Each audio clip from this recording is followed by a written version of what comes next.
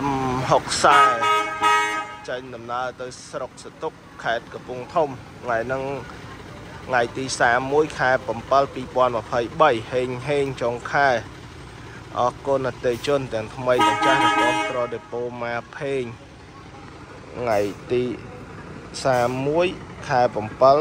2023ចេញទៅស្រុកសតុកខេត្តកំពង់ធំ